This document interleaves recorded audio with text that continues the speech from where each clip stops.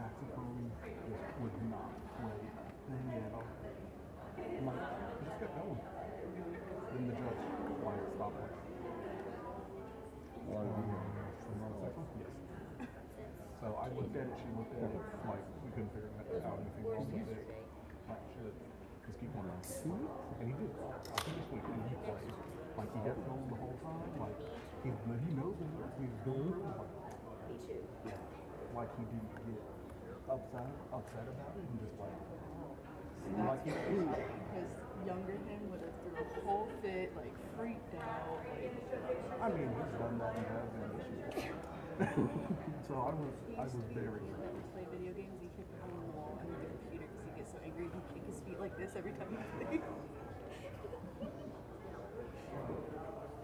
You know, it's really amazing just seeing multiculturals in like as middle schoolers and then as high schoolers, like respectable people.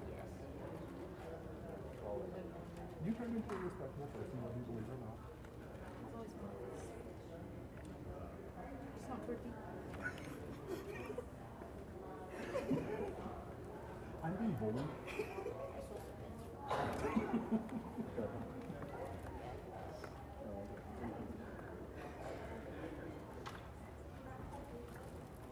Put it in a form of like the shiny. Don't be seen.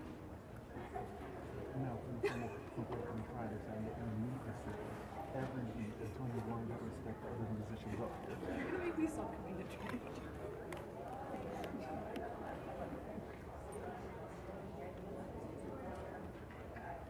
It's so much more fun than that. Like, I get bored, and we we laugh, it's a good time. Until I gotta sit here and like not get tired. Like I get s- like my attention span is like you got a minute and then I'm out. So I gotta I gotta try not to. I really gotta I really gotta pay attention.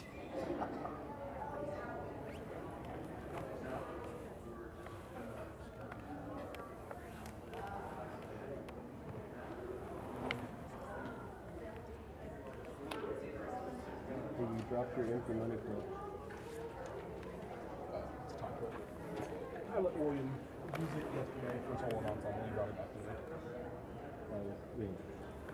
it. Uh. I mean, if I had a money, if I had a money clip, it would be empty, so it's not far off.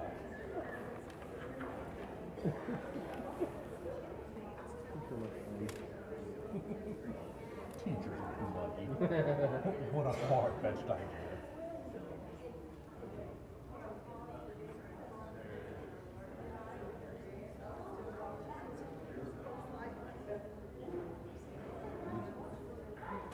Even go back to the back. Hmm? Stay, I shouldn't even go back. I'll just stay.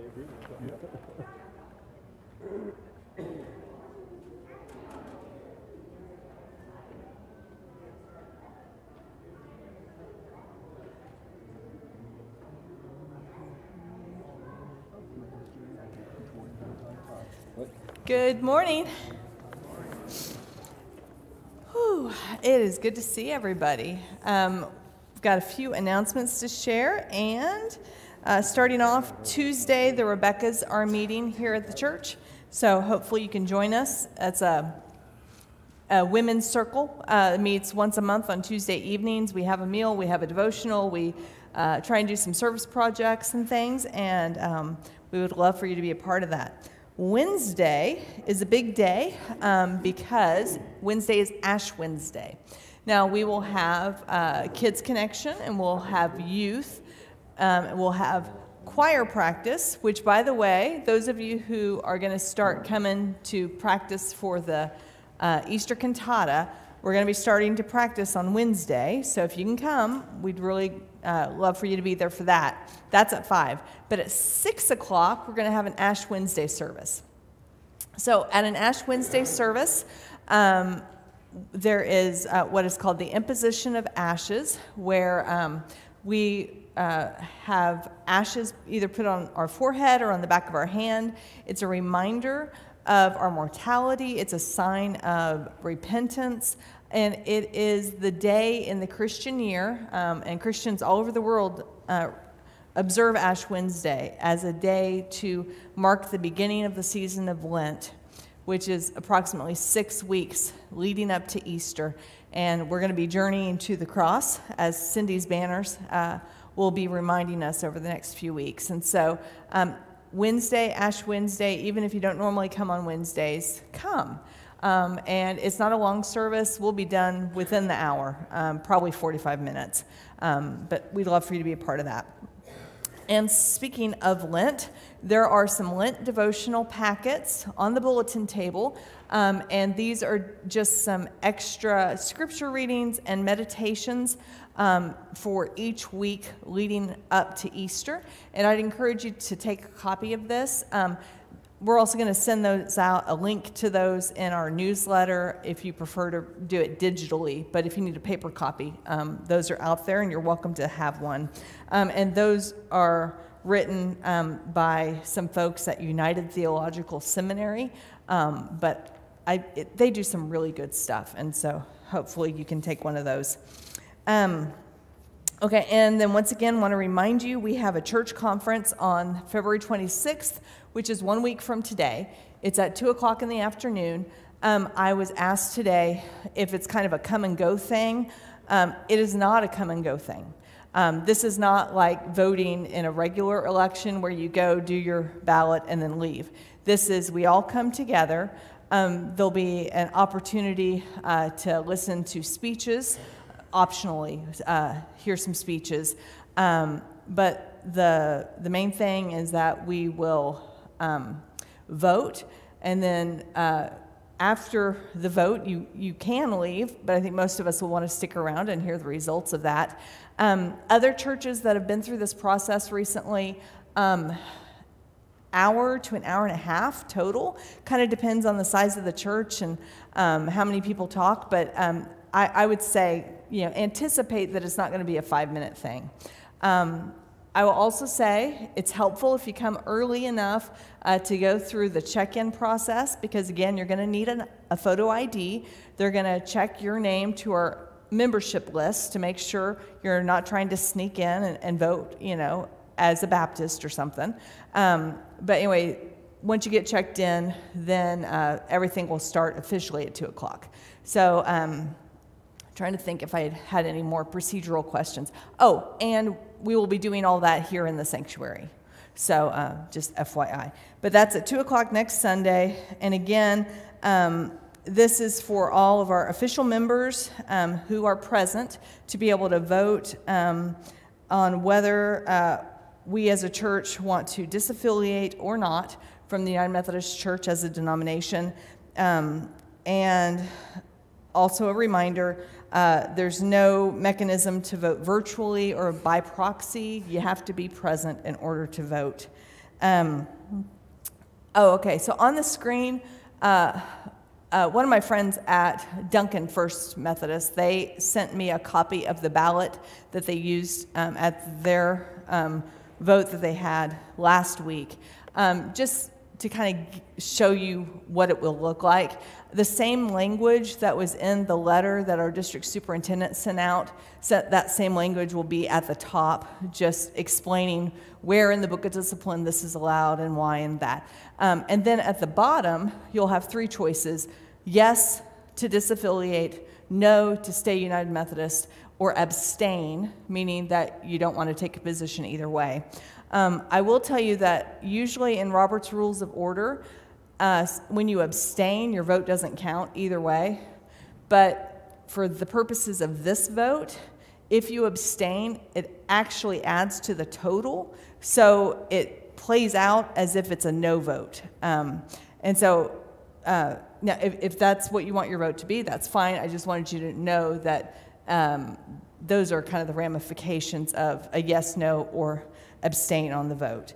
Um, and also, youth, if you don't have a photo ID, will have your book pictures to prove who you are. Okay, I think that's my announcements that I needed to make. Um, so we've got three folks that are going to come up and uh, share a little bit more. Um, Mark Bobo, who's our finance chair, um, Brad Benson, who is chair of trustees, and Jim Ard, who is our leadership chair.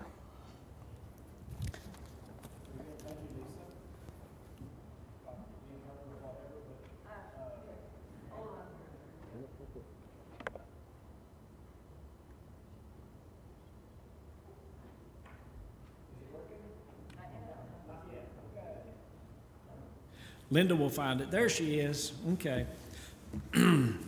well, as chairman of finance, it's going to kind of be reversed because Brad is going to present the state of the church at the very end. But uh, the three chairmans, basically, of, of the, the committees within the church wanted to make sure the church understood and knew and kind of give a little bit of a recap of some of the history of what's going on. So, uh, if you we all remember this 18 page document, basically, that we went through. If you remember Tish Malloy, as well as uh, Reverend James Kim, our district superintendent. Tish Malloy is the director of transitional ministries. We went, the church participated in a number of discernment processes. And some of the things that, for those that didn't participate in that, that uh, interesting, I mean, the first language, which was surprising to me, of the issue of uh, human sexuality originally uh, was in the book of discipline in 1975 or 72 and so for, for 50 plus years now our church has been dealing with the, the issue basically of human sexuality. So in the 2019 general conference uh, three plans were offered kind of as, as appeasement. And the traditional plan if you remember was passed but it was very narrowly passed the vote was 53% to 47% and so as an offer of appeasement i guess or an offer of compromise uh, in february of 2022 the oklahoma conference offered a terms of disaffiliation and it was uh, paragraph 2553 of the Book of Discipline. And there were a number of things that were required in that, of which we're going to present today. But the immediate thing is the fact that this offer of disaffiliation uh, expires December 31st of this year. Of course, the purpose for the expiration is the fact that the next General Conference, mostly because of COVID, has been put off because it's a world conference of the United Methodist Church is scheduled in 2024.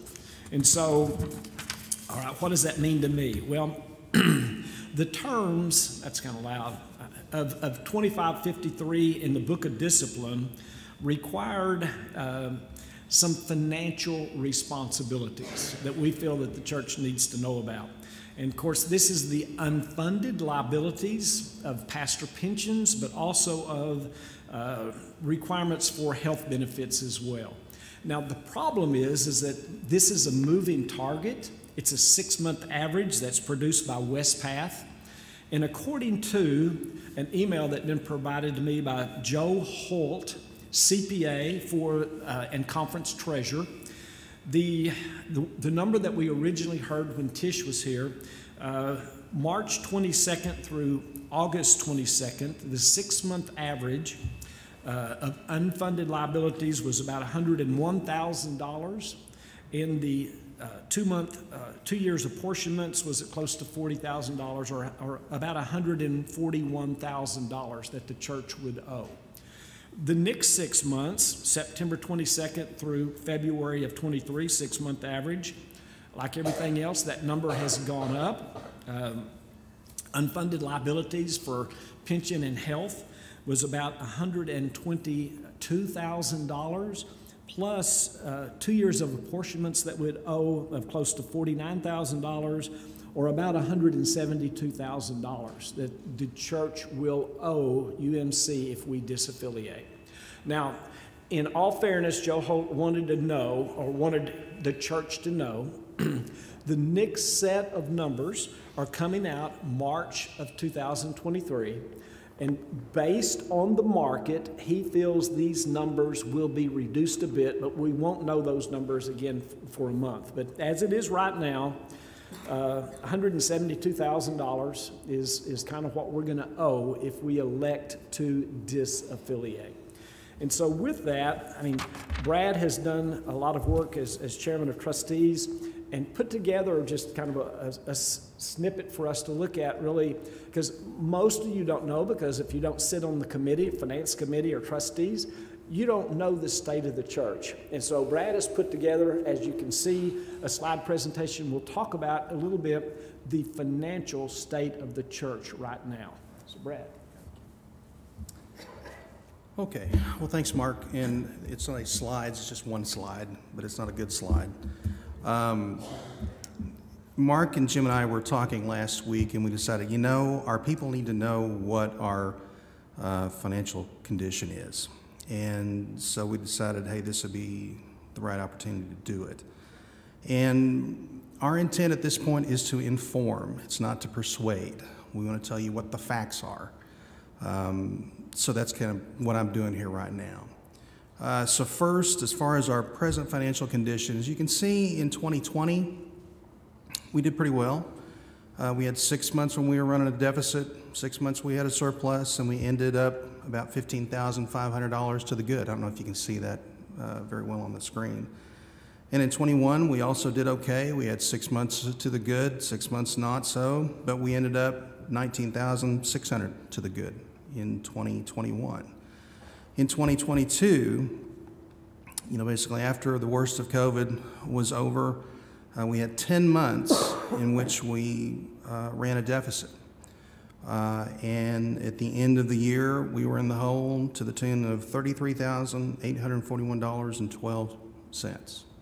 And that's where you can see that last column way below that, that line. And we had a uh, trustee finance committee last week, and the numbers that uh, for January um, looks like we're going to shake out probably in the hole about $5,000 just last month.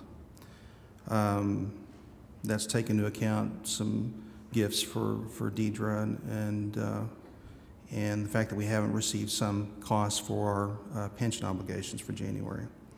So, to address this continuing deficit, um, the pastor parish basically recommended that we uh, reduce the pay to our pastor by $20,000 beginning on July 1st. And we all anticipate that that recommendation will be adopted.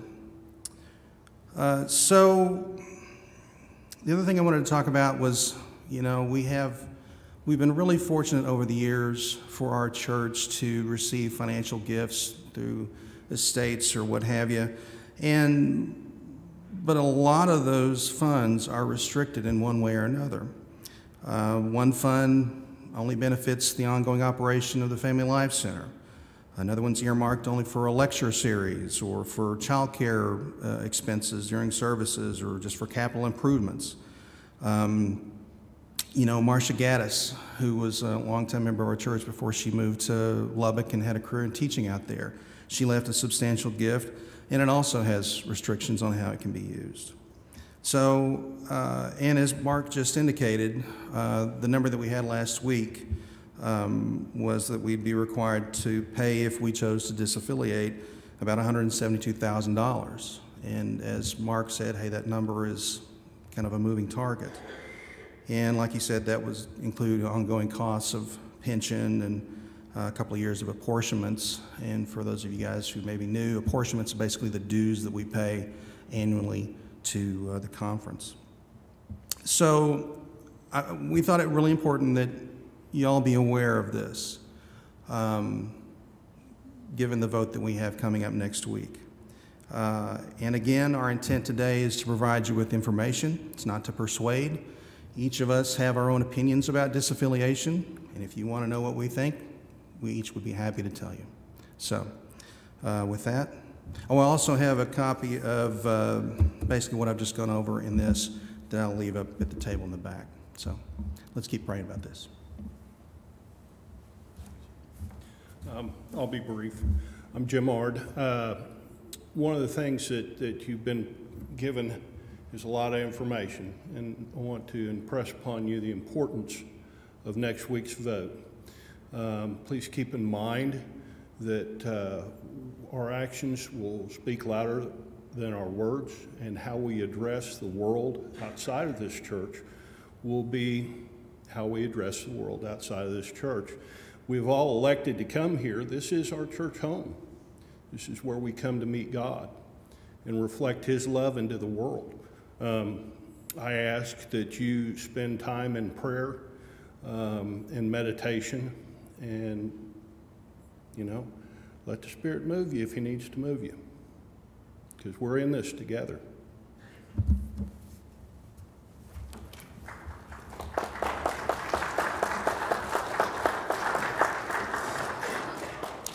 All right, and I just wanted to put this Bible verse in front of us again. Uh, Philippians 1:27.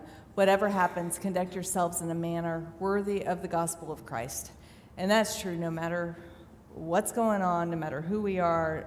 I mean, as Christians, th- this is our calling in how we live our lives. And so, um, everything they said, absolutely true. Um, and we definitely do need to be praying and and showing up next week to to be a part of this process. So. Um, those are our announcements, and thank you for being patient. I know they were longer than normal this morning, but uh, we get to worship now, and uh, let's start by greeting each other and just sharing some Christian love.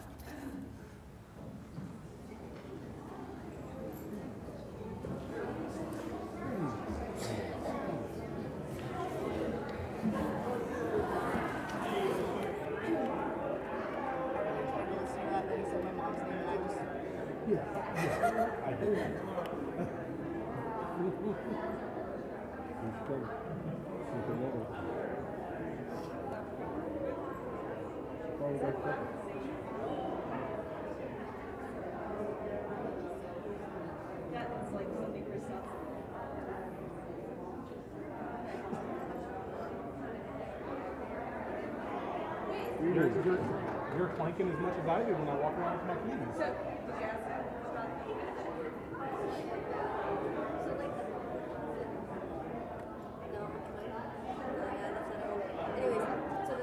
does it just go anywhere or does it? I mean, anywhere on the golf course. Because one was like, Wherever you want. Um, a lot of people like to collect them on the back. Some people like them on the front. Put it wherever you want. or you get so many that you just have them everywhere. Yeah. Like there are some people that have the back of them, like they're covered everywhere. His mom said that they used to put these on the sleeves for me, but we were both like, it's leather, so like, I don't know about that. All right, if you could start getting back to your places.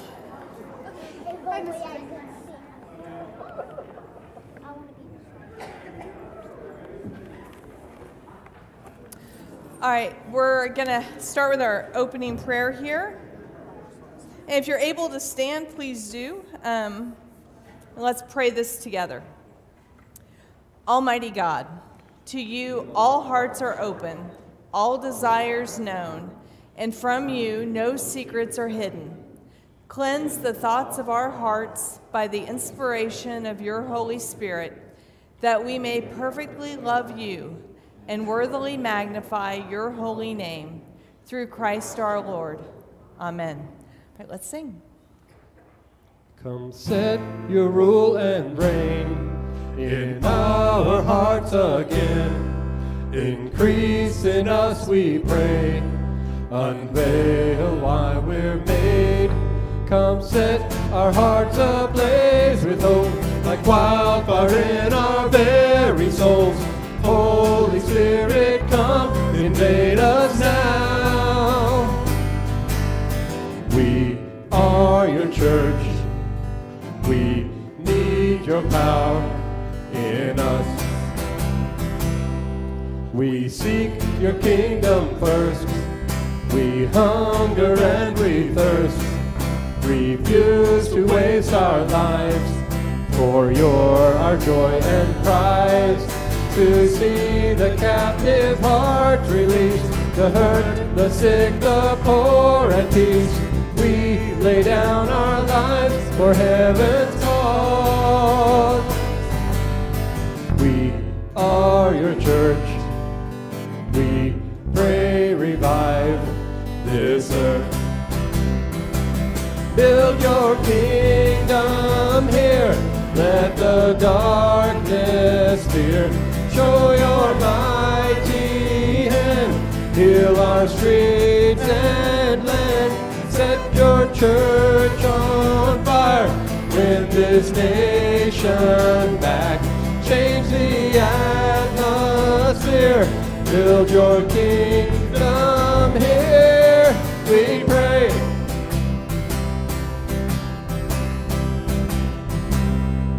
Unleash your kingdom's power, reaching the near and far.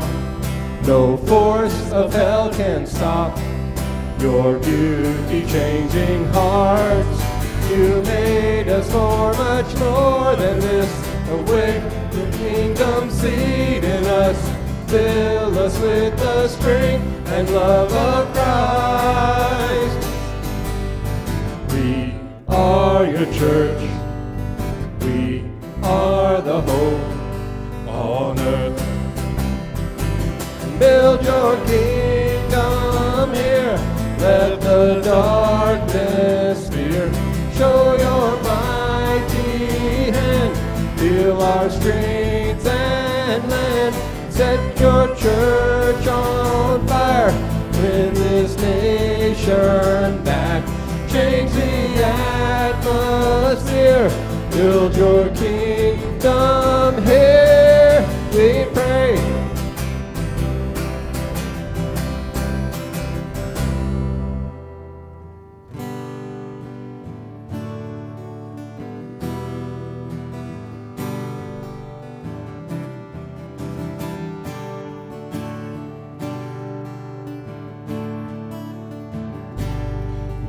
my strength when I am weak.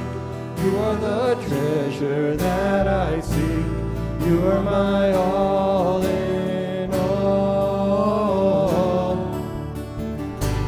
Seeking you as a precious tool. Lord, to give up, I'd be a fool. You are my all in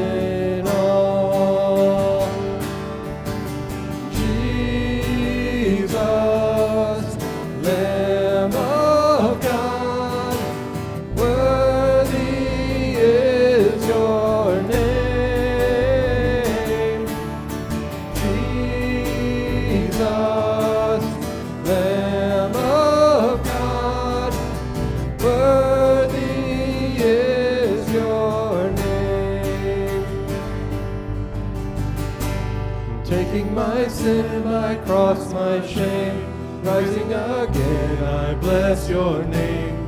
You are my all in all. When I fall down,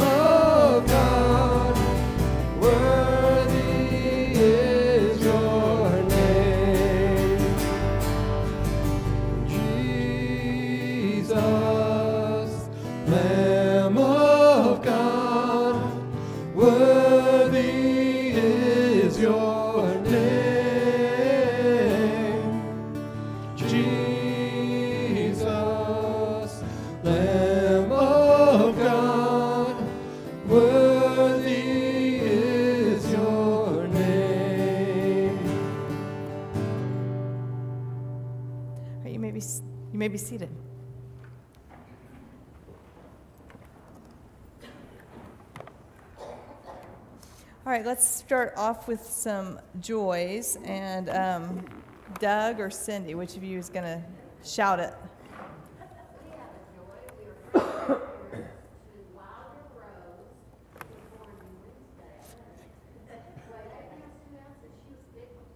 All right. Wilder Rose. That's just a beautiful name. I'm sure she will not live up to her name with, with the family that she was born into. So, uh, and Faith is doing well. All right, it's fantastic. Um, any other joys you want to share this morning? Yesterday, the mini band students had a very successful day at solo and ensemble competition. Yeah, so band had a good trip to solo and ensemble and brought home some medals, so that's always a good thing. Let's see. KJ, did you have your hand up? She's thinking about it. KJ's parents got engaged. All right. So there's a wedding in the near future. And your sweet 16. Okay, so big week altogether. Okay. All right. Um, well, we have um, apparently the folks in Frederick are um, keeping eye doctors in business. Uh, this past week, Edward Myers and Randy Hasley both had cataract surgery. And on Tuesday, Joyce Dutton is going to have cataract surgery. So, um, and you may or may not know, Joyce um, has been losing her sight for quite a while, and the hope is that this surgery will restore some of that sight, at least in that one eye. Um, and so that is our prayer for you, Joyce, for sure. Um, and of course, pray for Edward and Randy that they continue a good recovery with theirs. Um, you know, we've been praying for Katie Martin. Uh, she had surgery earlier this week to fix that second broken hip. Um, so uh, keep praying for her, for the family. Uh, they're all just exhausted, um, you know, trying to make sure that she's okay. Um, and also, John's mom fell and broke her hip um, last week, and uh, she had surgery and is now home and doing well, um, which we're very thankful for. Um, Shelby uh, Morton sent me a text earlier, said, um, please continue to pray for uh, her mom, uh, Marky, and especially that injections will help and pain can be managed. Uh, so she, yeah, she definitely needs our continued prayer. Um, are there others that you know that need our prayers this morning?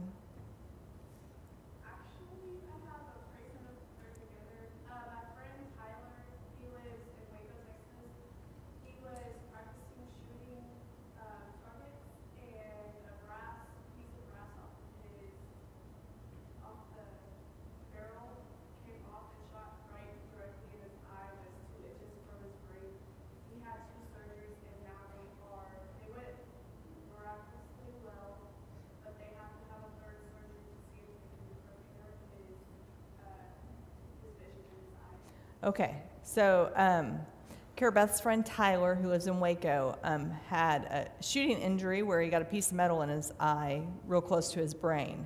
Um, but two surgeries, first two surgeries went well, maybe a third surgery to help with the eyesight. Uh, so be praying for Tyler. That, that would be scary. Okay. Anyone else? All right, let's pray.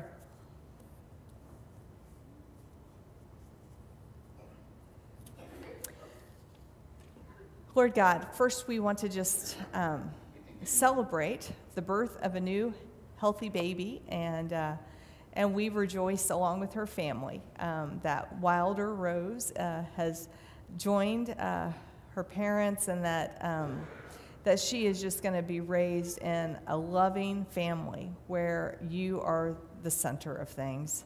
God, we, we pray for her. We pray for faith that um, you would just continue to watch over them, uh, during these early days. And we pray just prayer of gratitude um, for this new wonderful life. Um, we thank you too, Father, for, um, for successful surgeries. Lord, we uh, a lot of eye surgeries going on, cataracts, and uh, getting metal out. And, and, Lord, we are just so amazed at what um, doctors are able to do nowadays.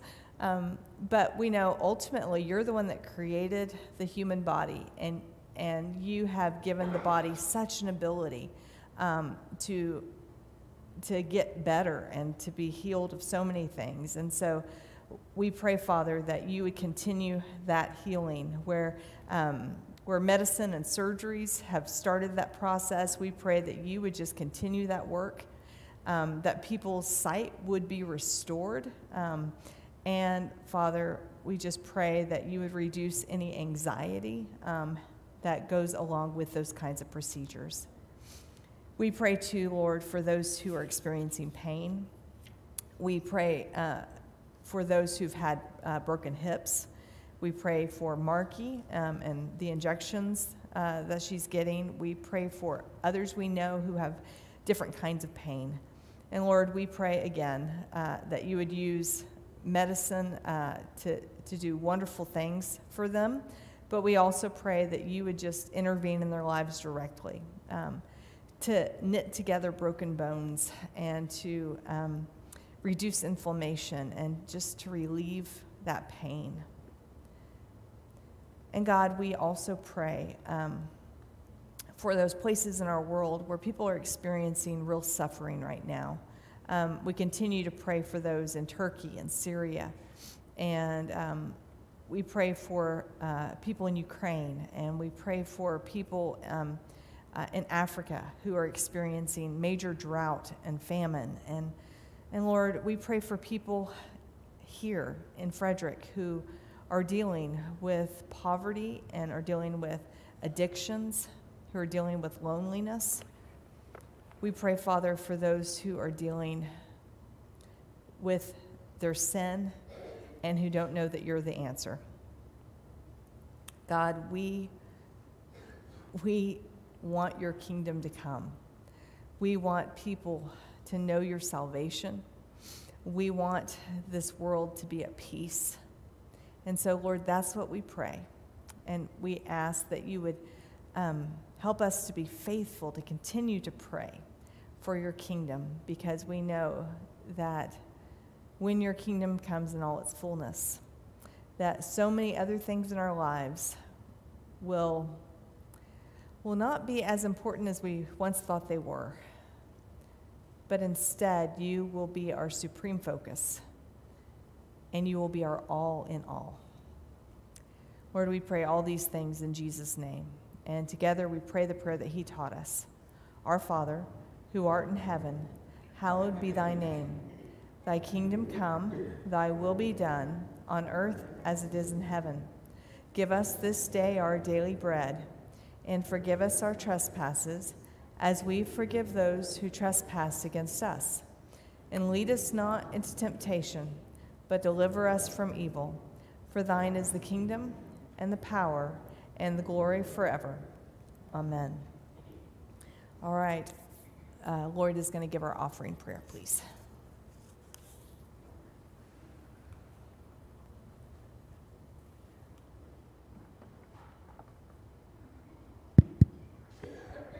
Would you bow with me?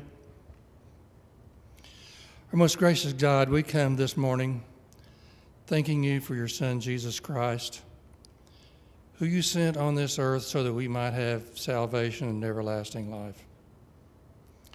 We thank you for the many blessings that you've bestowed upon us, the gifts that you've given us, the privileges and the opportunities we have in this life.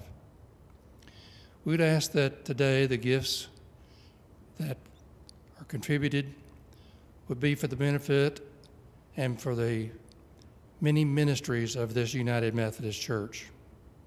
We ask these things in the name of your Son, Jesus Christ. Amen.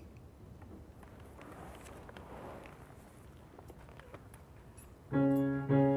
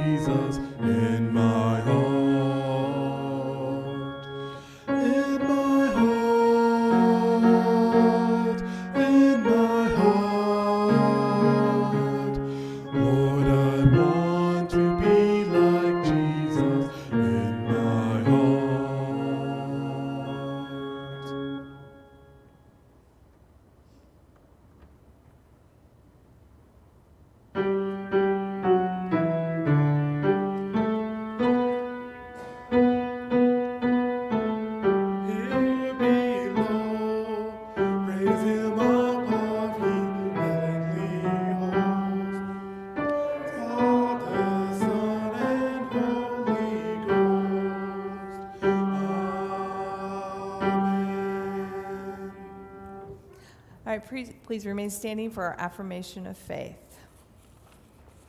Let's say this together. We are not alone. We live in God's world. We believe in God, who has created and is creating, who has come in Jesus, the Word made flesh, to reconcile and make new, who works in us and others by the Spirit. We trust in God. We are called to be the church, to celebrate God's presence, to love and serve others, to seek justice and resist evil, to proclaim Jesus, crucified and risen, our judge and our hope. In life, in death, in life beyond death, God is with us. We are not alone. Thanks be to God. Amen. All right, you may be seated, except for kids. Come on up.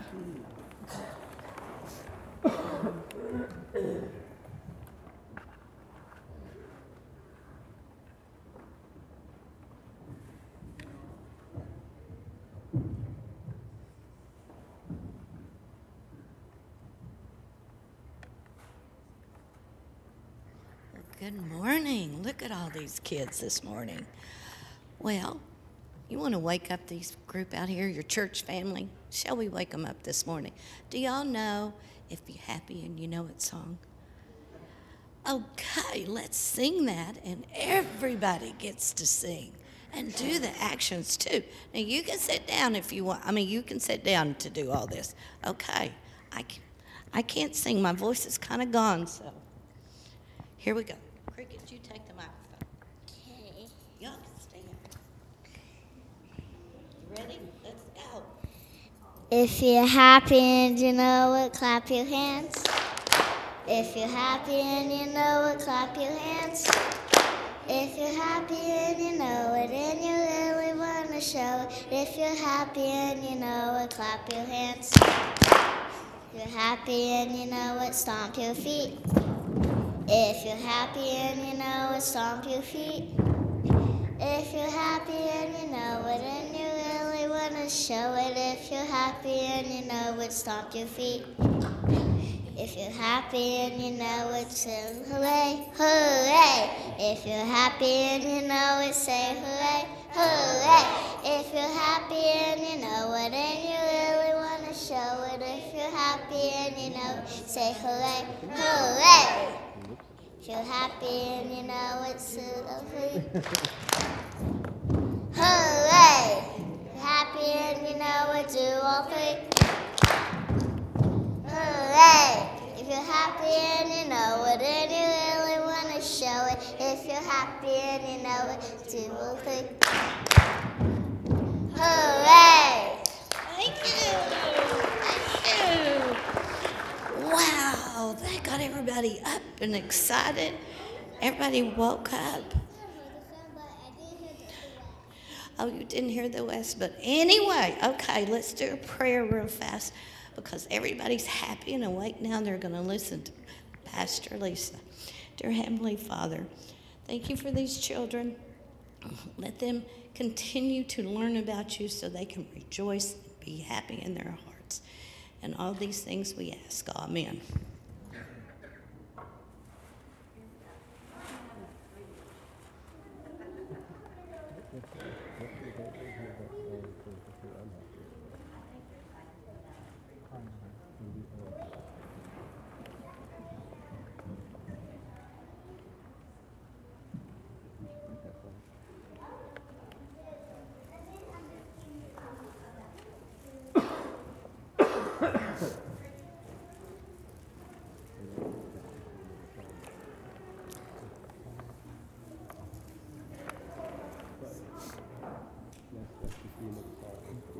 Yeah.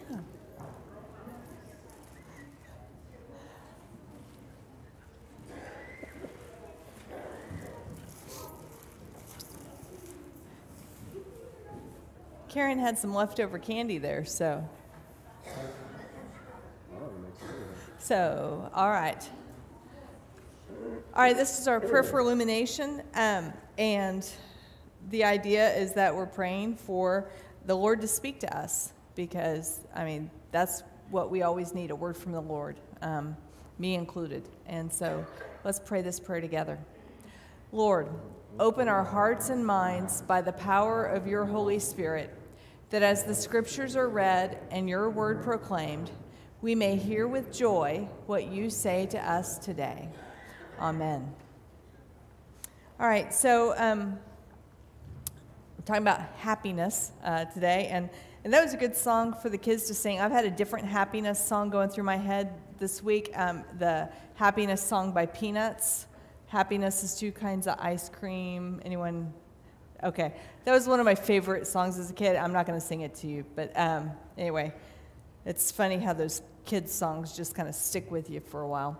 Um, anyway, uh, I, I, think this is our final uh, week on this particular uh, sermon series, uh, Living Out God's Truth. Uh, next week is, uh, well, actually, Wednesday, we're going to be starting the season of Lent, and we're going to be journeying to the cross, and we're going to be um, looking in particular at what it means um, to be part of God's revival. Um, and so that'll be next week. But uh, finishing up today, uh, last week, of course, we looked at YOLO, you only live once. And um, YOLO uh, is kind of a self centered, eternity denying way of living life uh, that's real popular in our culture. Um, but as Jesus teaches us, uh, building bigger barns is not the answer. Um, now, the Lord is neither self centered nor eternity denying, and so that's why he sent Jesus. All right? Um, God loved the world so much that he gave uh, unselfishly, he gave his only son uh, so that whoever believes in him won't perish, um, but will actually get to live with him for all of eternity. And so, uh, John 3:16, gospel in a nutshell there. Um, today, looking at happiness, does God just want you to be happy?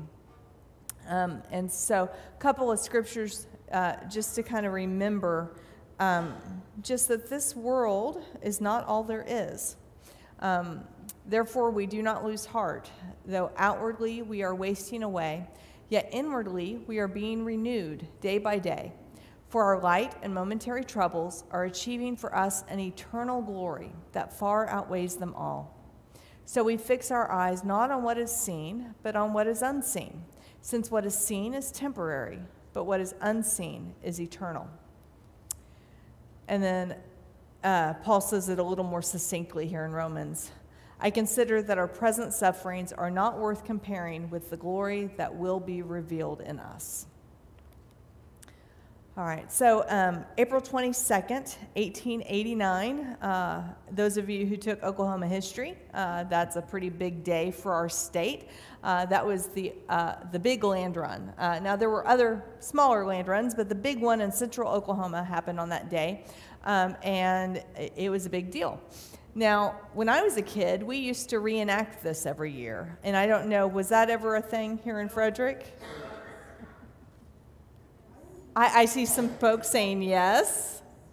Anyway, um, I loved Land Run Day. Um, you know, of course, you know, we got to dress up. I don't know if all of us had like the full pioneer garb, but you know, we tried to dress old fashioned and Western and whatever. And, and then um, uh, I went to a pretty big elementary school, so not all the kids got to run, but one kid from each class got to run, and they would have a little flag with the class name on there, and they would run out and stake their place, and then the rest of us would go and we'd have a picnic, and uh, you know, and we'd have games. I mean, it was just a fun, fun day. Um, and you know, as a kid, I read all the Laura Ingalls Wilder books, you know, Little House on the Prairie, and I just loved that time of history. And um, and I always thought, oh, how cool it would have been to be able to, you know, churn my own butter. That sounds like fun.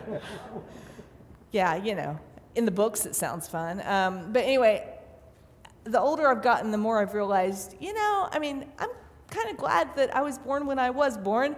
Uh, you know, the 70s had a lot going for them, um, you know, like antibiotics and electricity and air conditioning and um, reliable transportation and, uh, you know, lots of things. And now, of course, in 2023, we have phones that have more computer power than what got astronauts to the moon back in the 60s. So, you know, we live in an amazing time to be alive. Um, but even with all the modern advancements, even with air conditioning and uh, modern medicine, life can still be hard.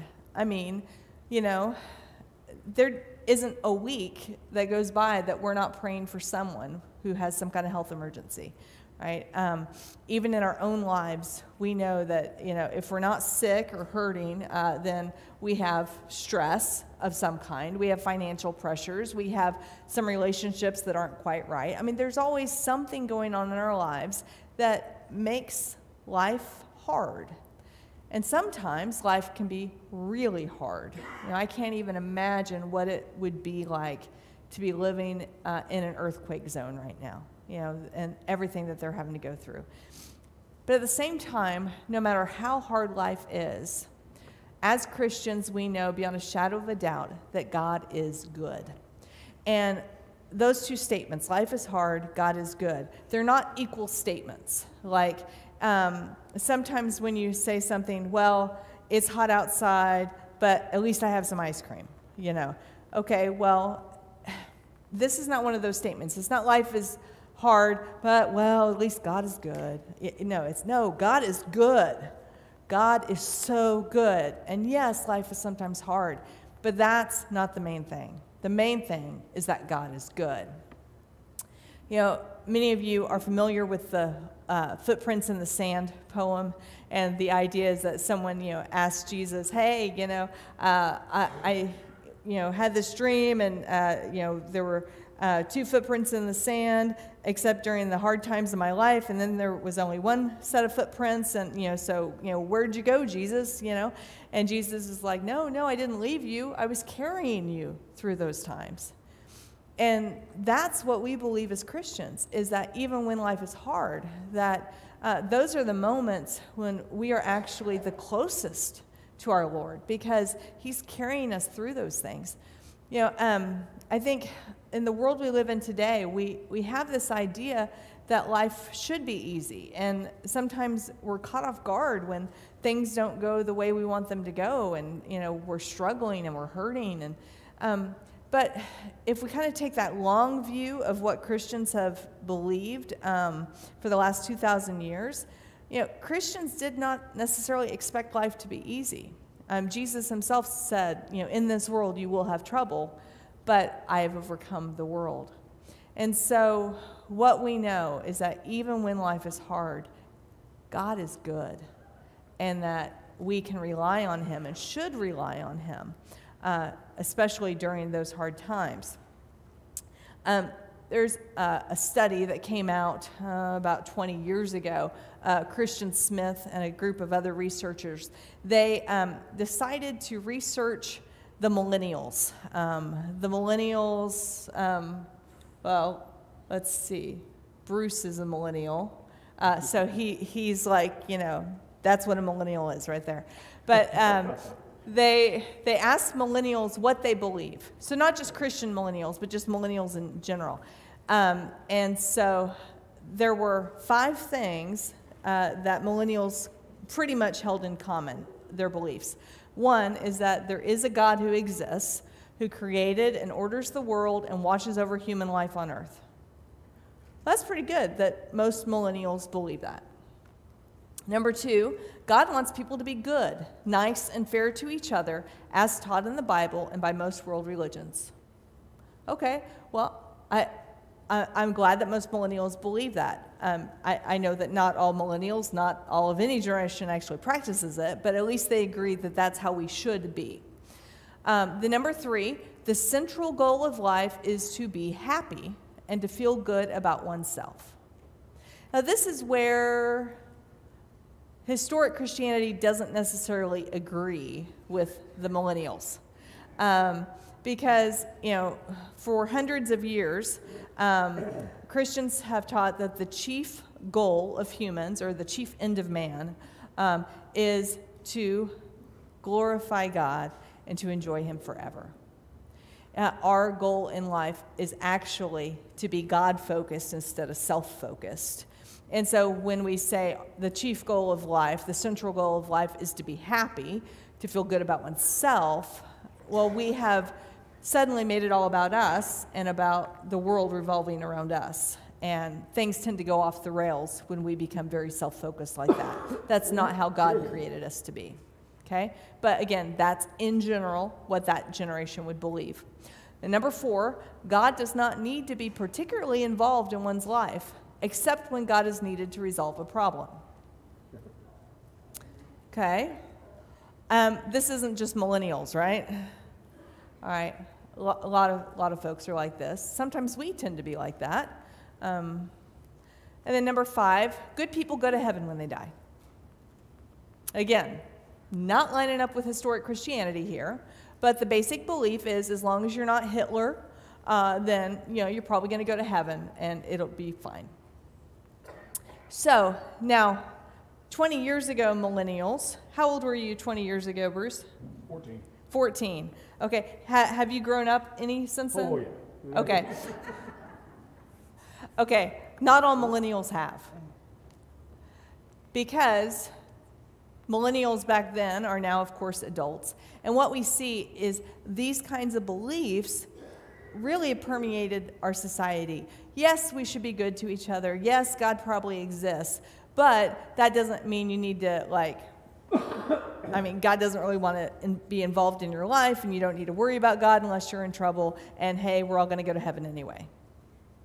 That's just kind of basic belief out there. Now, people may not be able to express them exactly like that, but that is the basic cultural belief. Now, the fancy term for this that they coined in the book is called moralistic therapeutic deism. Now, you may have heard of deism, deists, um, because some of our founding fathers are sometimes called deists, okay? But this is a, a different deal. Uh, moralistic therapeutic deism. Uh, the idea is that God is just kind of this genie in the sky who just wants to, you know, make us happy. Um, if I'll read what this little cartoon says uh, God speaking to us, saying, Hello there, you rang? How can I make you feel better right now? How can I serve you? Wow, you're looking nice today. You are just the greatest thing ever, aren't you? Man, am I lucky to be your God. Okay? Not exactly God of the scriptures, but again, this is kind of the general idea floating out in society that that's how God is like. All right, now, um, happiness is not a bad thing. In fact, I believe God wants us to be happy. The, the scriptures talk about joy and talk about happiness. In fact, Psalm 1 talks about being happy in the Lord. Uh, the Beatitudes, uh, which we often hear translated, um, blessed are those who hunger and thirst for righteousness, blessed are the poor in spirit, blessed are the meek. Another way that can be translated is happy are the meek, happy are the poor in spirit. So being happy is a good thing, all right? But as in many things. It kind of depends what you mean when you say happy, okay? So, uh, in our culture generally, happiness uh, is a temporary psychological state of contentment based on pleasant circumstances. When I have an ice cream cone in my hand, I'm happy, right? Um, when my football team wins, I'm happy. When I read a good book, I'm happy. You know, those things make me happy. But those kinds of things don't last forever. The ice cream eventually melts. My team eventually is going to lose. You know, um, I'm going to have to find a different book to read, you know. And, and so um, I, that's just, that kind of happiness comes and goes. Um, unfortunately, we kind of buy into this idea that if our happiness is based on circumstances and we're not happy, well, then let's change our circumstances. So, uh, are you happy? Yes, well, keep doing whatever you're doing. But if you're not happy and you want to be happy, well, then change something. So, are you not happy in your marriage? Well, instead of going to counseling and working at it, just leave your husband or wife. Um, you're not happy at your job? Well, just quit showing up. Not happy at, um, I don't know, school? Well, then stop turning in your homework. Stop trying. You know, we we think that the answer to happiness is uh, the circumstances, the, the way we can manipulate the circumstances around us. And often we do feel a little burst of happiness when we make those kinds of changes. But just like with melting ice cream, those kinds of changes often lead to just temporary happiness. And eventually, we're going to be unhappy about something else and something else. And we're always going to be chasing after that happiness, becoming more and more self focused, and thus farther and farther away from the people that God actually created us to be. In contrast, the Bible tells us to find our happiness in the Lord. Uh, Psalm 37 4 Delight yourself in the Lord, and he shall give you the desires of your heart. And so, happiness in, in terms of uh, from the Bible, um, it, it's more of an alignment with God. Um, it's about being obedient to God. You know, Jesus in John uh, chapter 15 talks about uh, when we obey his commands, we're, we're going to have joy uh, in our relationship with him. And so, when we are delighting ourselves in the Lord, when we are aligning our lives up with him, then we are going to have happiness and joy, but not just that fleeting, temporary kind, but joy that is going to be lasting and complete. Um, so it's God focused joy, not a self centered mood enhancement. And that's what we really need in life. So, uh, an example of this Acts chapter 5. The apostles got arrested uh, because they were doing their apostle thing. And um, while they were under arrest, an angel broke them out of jail. Um, if I ever get arrested, I hope there's an angel because that would be really cool. But anyway, this angel broke them out of jail, told them to go out and preach. And so the next morning, uh, the apostles were out there preaching when they get caught again, and this time they get flogged. Um, and, you know, every time I hear that word flogged, I think about that movie, The Passion of the Christ, and I just think about just the reality of what that must have been like for them.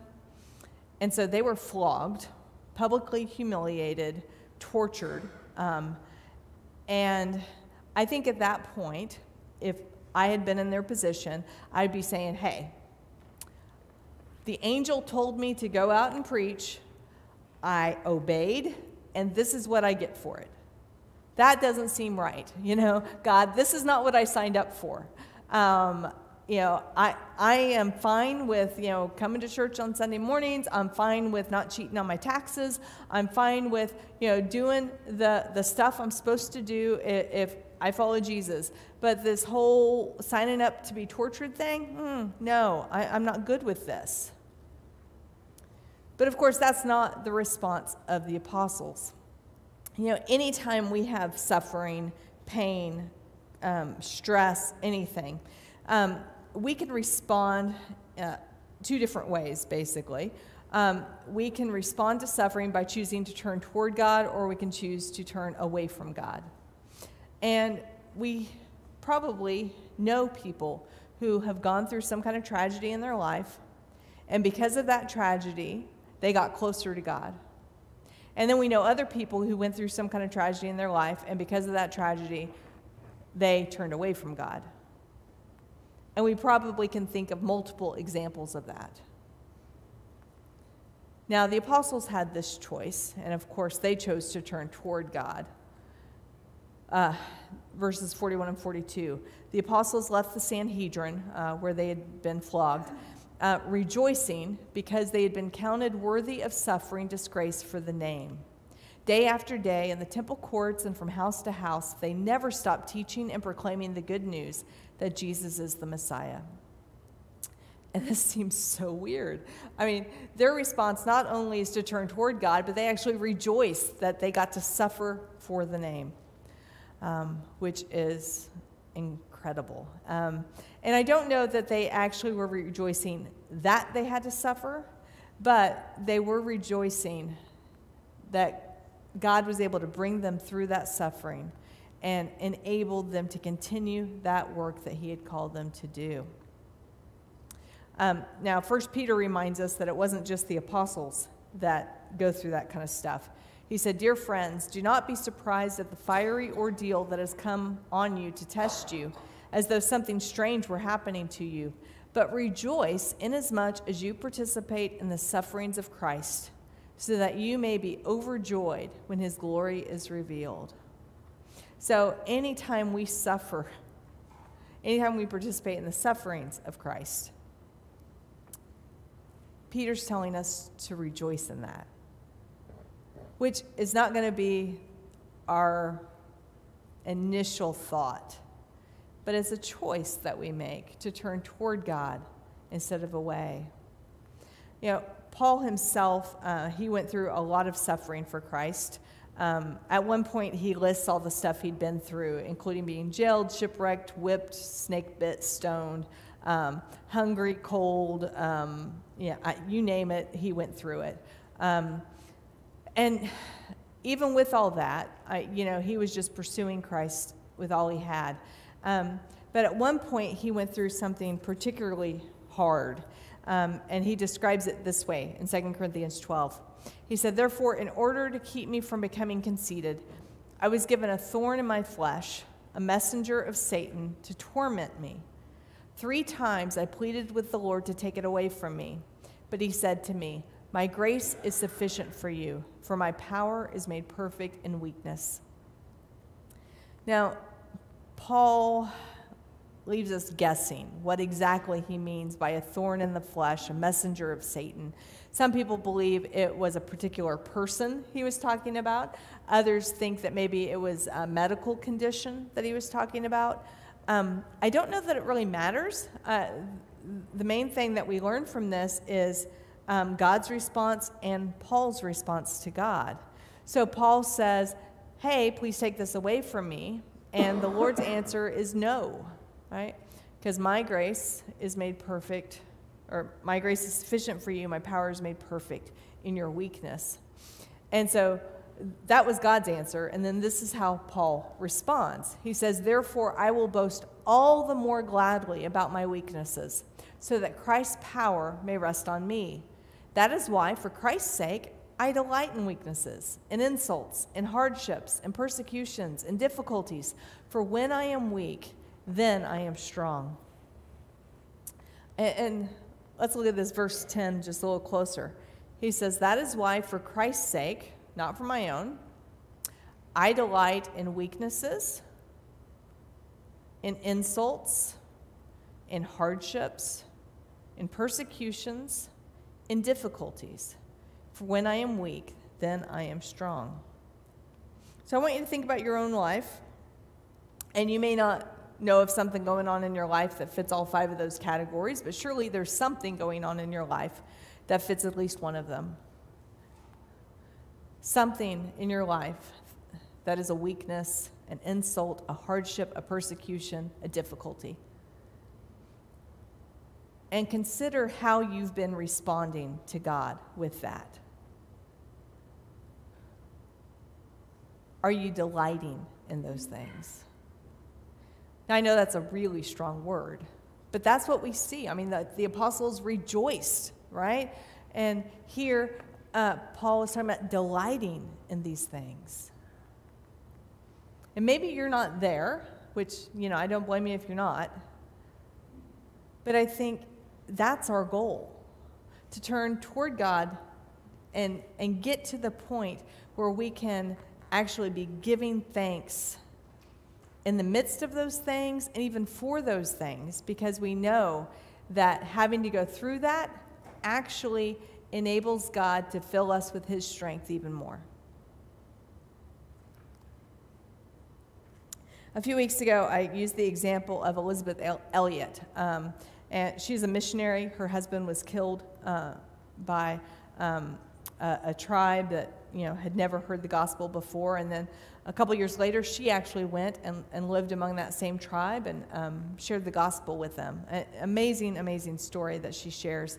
Um, another example of a Christian who has really persevered through suffering uh, is Joni Eareckson Tada. Um, and uh, if you don't know her, her story, uh, she's just phenomenal. Uh, she was paralyzed in a diving accident as a teenager, um, and she paints pictures uh, by ho- holding the paintbrush in her mouth. Um, but more than that, she's an author, a Christian speaker, and uh, she just really gives hope to a lot of people. Um, well, anyway, these two women, uh, Joni Eareckson Tada and Elizabeth Elliot, uh, they were frequently on the same kind of speaking circuit together. And um, at one point, Joni uh, wrote about the two of them. And she said, We were simply followers of Christ who had plumbed the depths of his joy by tasting his afflictions. Those afflictions had cut deep gashes in our hearts, through which grace and joy had poured in, stretching and filling our souls with an abundance of our Lord. You know, if, if there were any two women that had a right to be bitter, right? I mean, surely they had plenty of reasons for that. But instead, by tasting the Lord's afflictions through their own suffering, they were able to experience his joy even more deeply. And, and I think that's just a beautiful example for us. Um, a very different example uh, is children's author Roald Dahl. Um, you've probably read one of his books at some point along the way Charlie and the Chocolate Factory, um, uh, James and the Giant Peach, uh, BFG, uh, you know, anyway, lots of good books. Uh, but, um, you know, he grew up, um, you know, as a Christian, but uh, when his oldest daughter died from measles at the age of seven, um, he did not find the church very helpful in that and he became angry and he actually gave up the Christian faith and walked away completely. Um, and of course, I mean, that's just one of many examples of someone walking away from God in the midst of suffering. Um, but what I find interesting about him is that even though he walked away from God in the midst of suffering, he understood what suffering can do to a person's character. Um, so, how many of you have seen the Gene Wilder version of Charlie and the Chocolate Factory? Okay. And how many of you have seen the Johnny Depp version? Which do you like better? Yeah, it's like universal, isn't it? Okay. Well, um, I found good pictures of the kids in the Johnny Depp version. Um, but, you know, Charlie, of course, Charlie um, Bucket is the main character. But the other four kids that get the golden ticket, you see that they had very easy lives. They had everything handed to them that they wanted, whether it was food or gum and competition, or, I mean, just basically anything that she wanted. Um, and then Mike TV, of course, all the TV and video games and everything that he could ever want. So, so the kids that got everything they wanted, their parents just catered to their every whim, you know, they were pretty awful kids, you know, I mean, selfish jerks, essentially. But then you have Charlie Bucket. And uh, if you remember, I mean, he grew up in abject poverty. Uh, the way it's described in the book, I mean, you know, it's just, you know, a poverty that most of us couldn't even imagine. Um, And it's because of that poverty that he grows up to really appreciate everything and everybody, you know. And so you see that this person who was exposed to hardship actually has a much better character to him than the others. Now, that's just a book, right? But I think it's also very much true in life, as we see. But it depends on how people respond to that suffering and those hardships. Are they turning toward God? Are they growing in those things? Or are they turning away and becoming bitter through them? Romans 5, Paul writes, Not only so, but we also glory in our sufferings, because we know that suffering produces perseverance. Perseverance, character, and character, hope. And hope does not put us to shame, because God's love has been poured out into our hearts through the Holy Spirit who's been given to us. So, suffering leads to perseverance, perseverance to character, character, hope, which won't disappoint us. So um, there's this purpose to suffering. It forms us in the image of Christ when we cooperate with it. Uh, James says this also. Consider it pure joy, my brothers and sisters, whenever you face trials of many kinds, because you know that the testing of your faith produces perseverance. Let perseverance finish its work so that you may be mature and complete, not lacking anything. So, again, there's a choice in this. I, we, we need to really invite that perseverance to do that work in us, to make us more mature, more complete, not lacking in anything. All right, so, you know, just kind of looking at this, you know, bird's eye view of, about happiness uh, in Scripture. You know, God is able to use our sufferings in particular, um, sufferings and trials, to draw us closer to Him, to deepen our joy, and to develop our character when we choose to turn toward Him. Um, and so that is, it's not just that God wants us to be happy. I mean, God is wanting to make us into the people He wants us to be. And so He's going to use all the stuff in our lives, the good stuff and the bad stuff, to help draw us closer to Him and to deepen our joy and to develop our character. Um, one final example of this is uh, a book by uh, Rod Dreher, Dreher, however you say his last name. Um, he uh, interviewed a whole bunch of Christians who had lived through persecution in uh, the former Soviet bloc countries. And um, you know, I don't know that all of us are aware of the kind of persecution that happened there, um, but there were thousands of clergy who were killed, um, as well as uh, other leaders in the church uh, churches were just destroyed, um, and you know, just I, it, it, was, you know, people really had to hide their faith uh, for uh, a, a, number of different periods of time during Soviet rule. Um, but when this author interviewed Christians who had gone through that, what he found was this deep, abiding peace and joy among those Christians. And it was something that really surprised him. He thought that they would be bitter, but they weren't. And one of the things he said is that Christians should accept the impenetrable, impenetrable mystery that suffering, if rightly received, can be a gift. And I think as Christians, we've got to wrap our minds around that. That suffering can be a gift. Um, and it's not like we go looking for it, you know, or anything like that. But when suffering comes into our lives, you know, physical, emotional, whatever, when it comes into our lives, we realize that this is a gift that God can use. And God can use it to draw us closer to Him and deepen our joy and to develop our character. So, this is your invitation this morning to think about those things in your life that routinely you would think this is not something that makes me happy because it's hard and it's not the way I want my life to be right now. Think about those things and consider how you can turn toward God with those things. And invite the Lord to do that work in you to draw you closer to Him, to deepen your joy, and to develop your character.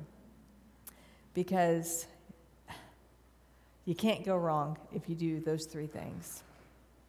Let's pray. Lord, we confess that we often want life to be easy and we just want to be happy and for everything to be going our way. And Lord, sometimes we chase after that happiness instead of chasing after you. But Lord, we know that chasing after you, the byproduct of that is going to be happiness, that deep, abiding joy that all of us long for. So, Lord, we invite you to use whatever is going on in our lives that may not be the way we want it to be, but we pray that you would use those things as gifts to truly draw us closer to you, to deepen our joy, to develop our character, so that we can become more and more like Jesus Christ. In his name we pray. Amen. All right, let's stand and let's sing. Okay.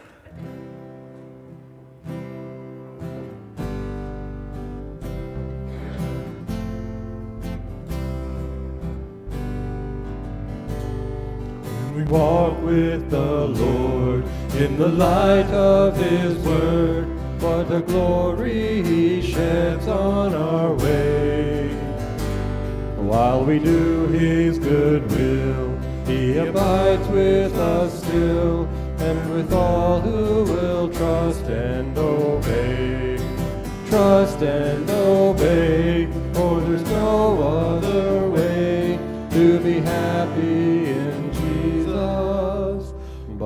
trust and obey. Not a burden we bear, not a sorrow we share, but our toil he doth richly repay. Not a grief or a loss, not a frown or a cross, but is blessed if we trust and obey. Trust and obey,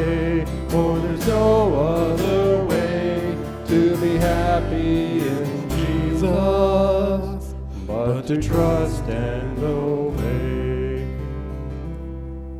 All right, Ash Wednesday service, Wednesday, 6 o'clock. Uh, please come. Please come, even if you've never been to an Ash Wednesday service before.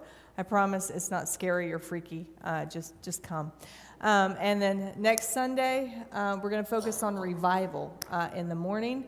We'll have our vote at 2 o'clock next Sunday afternoon and be in prayer this week. Be in prayer. So, Lord, thank you for being our God who gives us good and perfect gifts and who uses those gifts to do the work in us that's really needed. Amen. Trust and obey, for there's no other way to be happy in Jesus but to trust and.